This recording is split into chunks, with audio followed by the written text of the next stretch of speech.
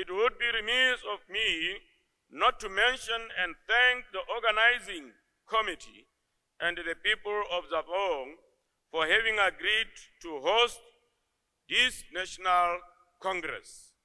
Special thanks to our BDP uh, officers, Kotsuletsa. Fellow Democrats, as part of our manifesto in 2019, we set out to advance together towards a more inclusive economy. And to that extent, we passed a number of bills which will be turned into laws to enable us to achieve moving together towards an inclusive economy. And we remain resolute in achieving this objective.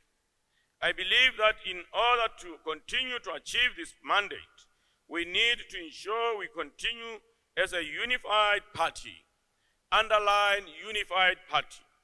We are stronger together. Together we stand we as individuals, we fall, as you all know.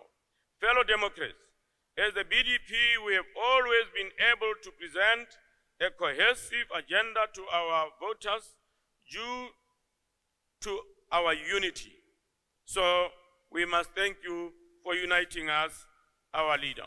It is a it is a currency that has served us well and shall continue to do so.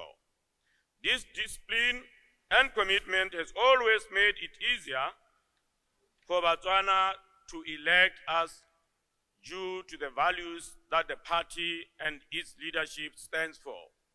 Our DNA, botho, tshwaragano, ditlhabololo, totlano, moya le bibua la gagwe batho betho.